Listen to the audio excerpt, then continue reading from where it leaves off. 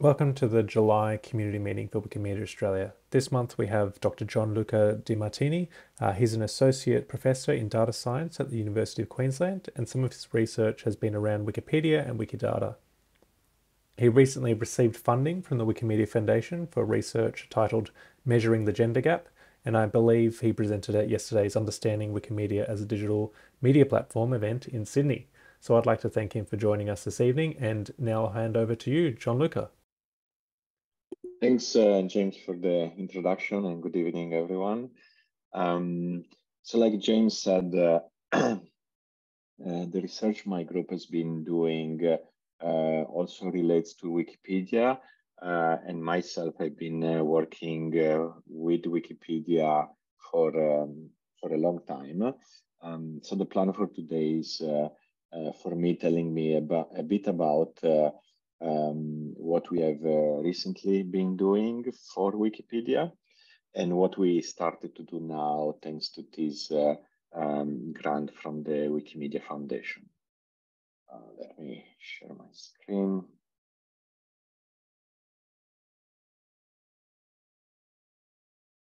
Okay, so the first thing I want to mention is um, that I am a computer scientist so that's my first uh, disclaimer. Um, and this overwhelming slide uh, is just for me to say that uh, uh, I really started to do my research uh, in almost 20 years ago. and, and I used the Wikipedia extensively in my research. So what I was doing in the early days of my research career was uh, building uh, search engines uh, that leverage Wikipedia as a background collection. Uh, so back in the days, uh, search engines like Google, they were searching the web and they were uh, returning links to web pages. but what we have today is not only the links to the web pages that you find on the web, but also typically on the right side of the search engine result page, you get this uh, what is called uh, knowledge panel or entity card, which looks like very much like a Wikipedia info box uh, that contains some uh, uh, pictures and some factual information and maybe some links to to other things. So if you're looking up an actor, you would see links to movies the actor is starring in and so on. So all of that uh, is in most of the commercial search engines powered by Wikipedia.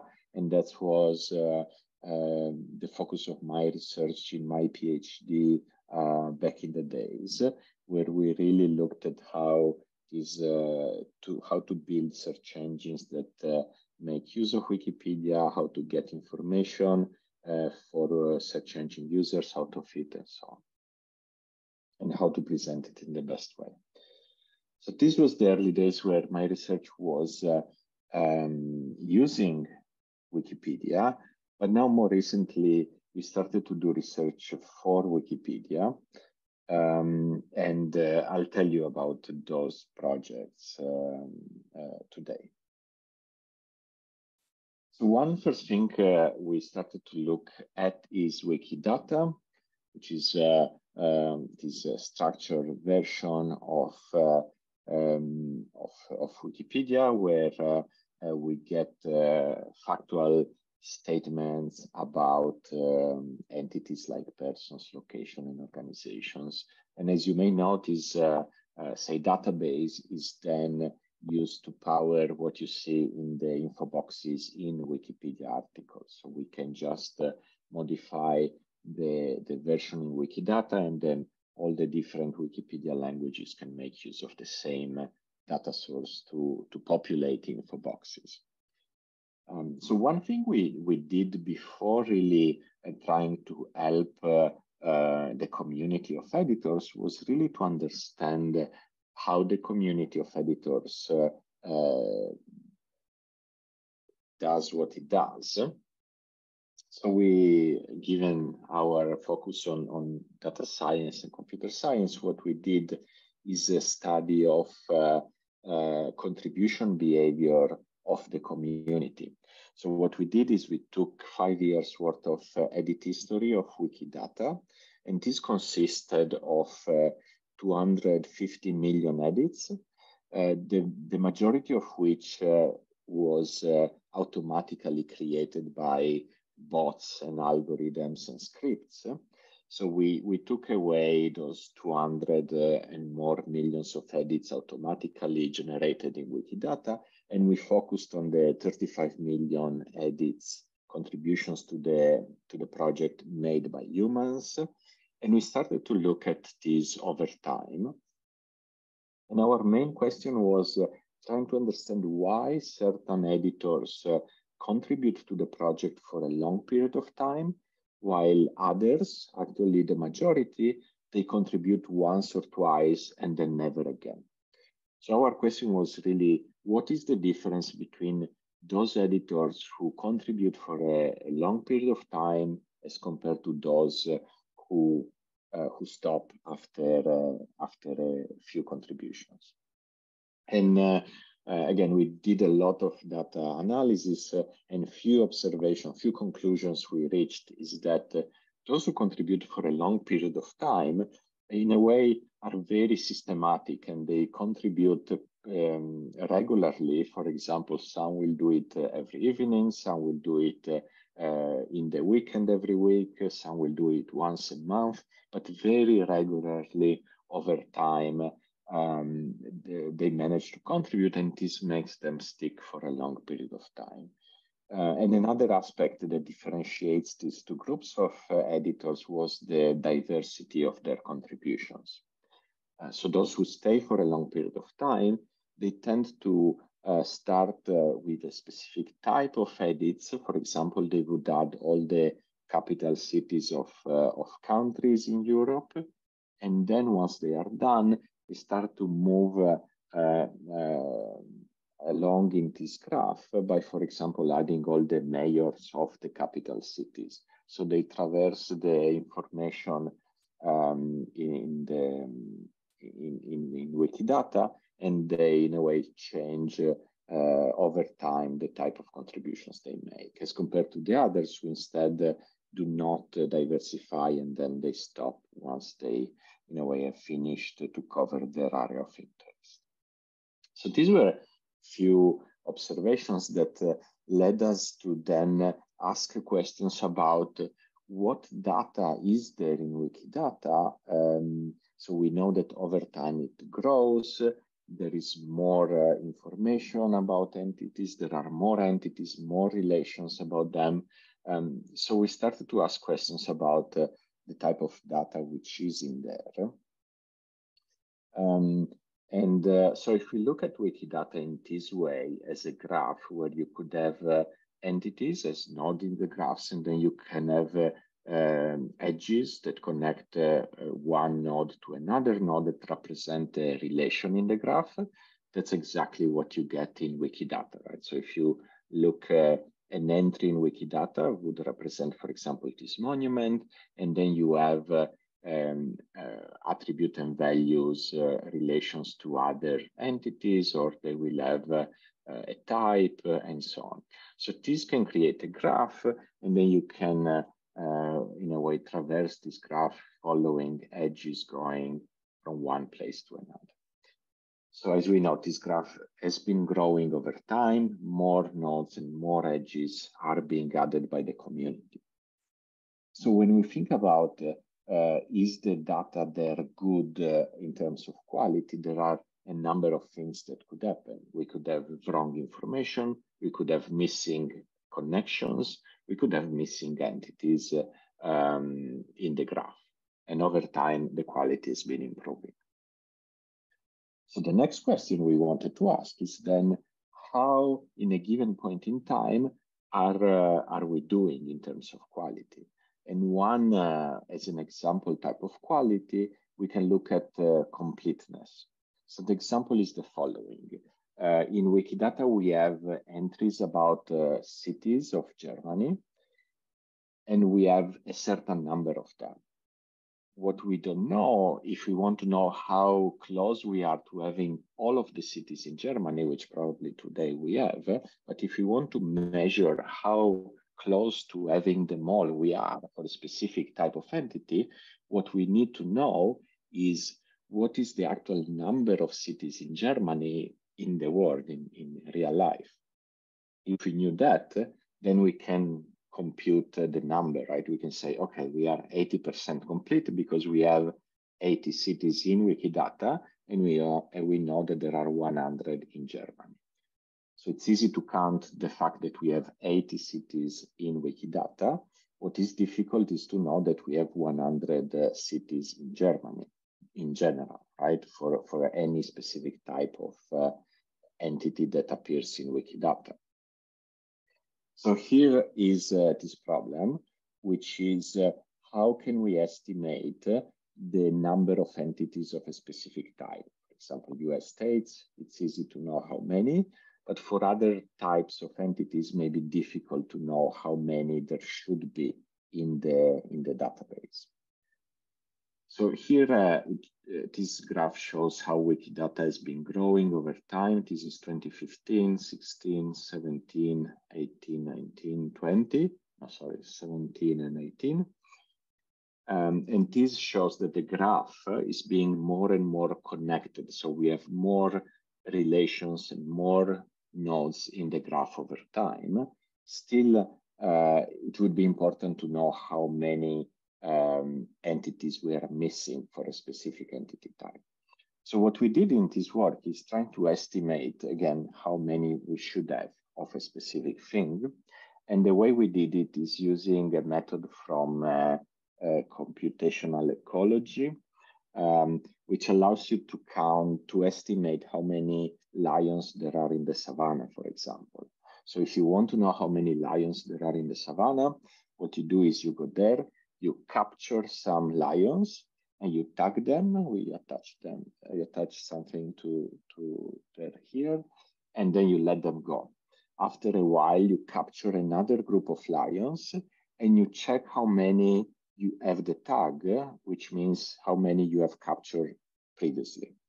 You do this a few times, and then uh, this allows you to estimate uh, the, the, the, population size. So how many lions there are overall, even if you haven't seen them all, even if you have just seen these uh, samples.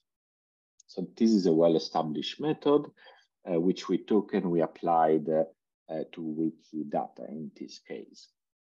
So what we did is we look at the edit history over time as our way to capture lions. So in this example, we observe uh, monuments. The Eiffel Tower is a monument we observe once, and then we observe it again. So we, this we, is a recapture uh, event. This is a new type of monument that we observe for the first time, and so on and so on. So over time, we observe and re-observe uh, entities of a specific type, for example, monuments, and this allows us to estimate how many monuments there should be in Wikidata. And this is the estimation uh, made by different methods. You see that the more uh, observations we have, the more accurate the estimations are. This dotted line is the correct number that we are assuming we don't know. So there are uh, about 850 paintings by Vincent van Gogh out there. And we are trying to estimate by looking at paintings by Vincent van Gogh in Wikidata and edits on them, how many there should be. And you see when we see just observe just a few, we are underestimating the number, and we are overestimating. But then after a, a certain number of observations, we have a very good estimation of the correct number. And this allows us to to know how many um, instances of a specific uh, class there should be, and therefore this allows us to um, compute uh, uh, the number uh, of uh, how complete the, the knowledge graph or the database is, uh, because we might have 600 currently in Wikidata, so we know how far we are to having the complete number. So this, uh, uh, again, we did uh, a lot of experiments, so we know that this worked well on Wikidata. And then we thought, uh, how can this be useful to the editors to decide what to focus on, what to contribute uh, next. And that's where this uh, new project uh, uh, that is starting now is really looking at. So here we are looking at uh, uh, the same idea I just talked about, but um, so with, with few differences. One is we focus on Wikipedia, and the other is we focus on a subset of um, of the problem. So rather than previously rather than estimating how many monuments there should be, we look at the subset of uh, a type of entity for a specific attribute value. In, specifically, we look at uh, the gender attribute and we look at the possible values of the gender attribute. So the problem is the following. Uh, it's the same problem as before, we just split it uh, on gender. Uh, this means, uh, let's imagine we want to know how complete Wikipedia is in terms of astronauts. We know how many pages, articles about astronauts we have, but we don't know how many we should have. So the problem becomes uh, uh, we want to know how many astronauts there should be, and we do this for different genders.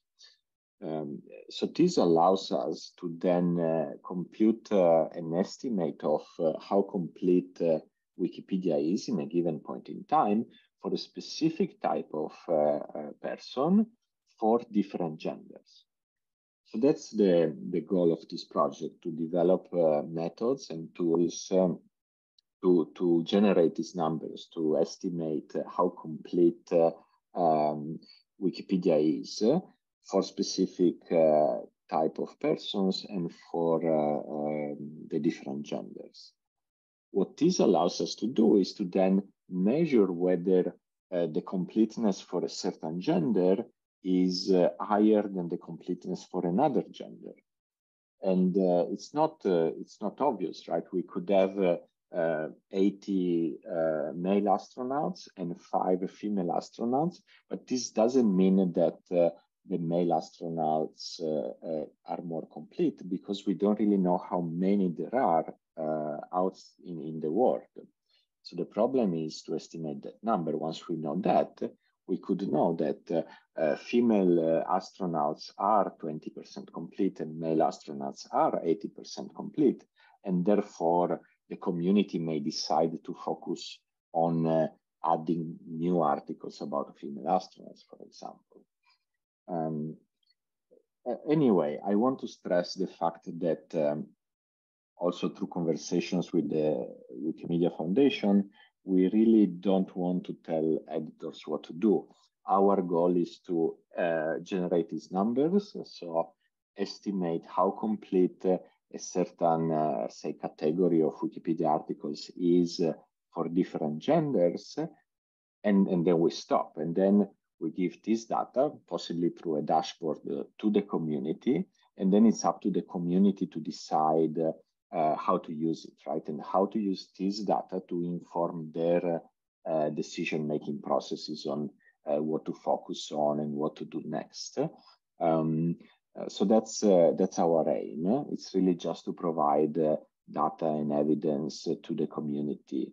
Um, and indeed, we one part of this project is talking to editors through interviews to, in a way, have a co-design process of the solution try to see how uh, these generated uh, estimates may be more useful uh, for editors.